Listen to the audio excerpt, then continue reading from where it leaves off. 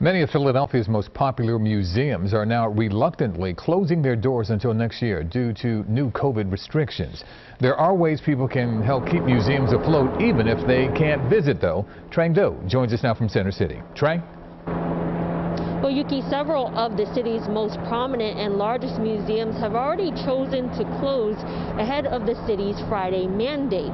But today, people got to take in the very last day at the Mütter Museum of a very timely exhibit.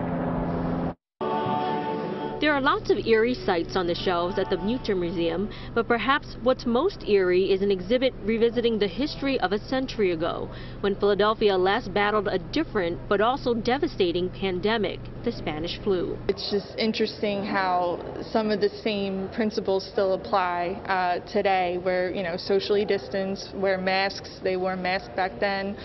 Um, so it's important to just keep yourself educated. Physical therapy student June Maloney was among the the last visitors to the museum, which will be closed Wednesday, ahead of the city's mandate that all museums remain closed from Friday until the new year. We wanted to check out the museum before everything closes down, and hopefully we can uh, together eradicate this thing and uh, reduce this virus. The news was a gut punch for the Penn Museum, which like so many other institutions worked hard to implement extensive COVID-19 precautions to reopen after the spring shutdown. Very disappointing, of course, but um, completely understand the need to try to slow the spread of COVID-19, so we, we all have to do our part. The Penn Museum will remain open to visitors who buy tickets online through Thursday.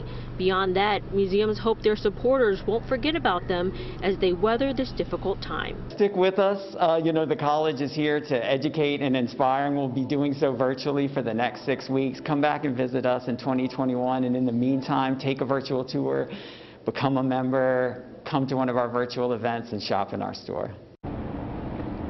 Now, in response to the mandated closures, the Greater Philadelphia Cultural Alliance says implementing a six-week shutdown during the typically busy holiday season will be devastating for the arts economy. But for now, we're live from Center City. I'm Trang Do, CBS 3 Eyewitness News.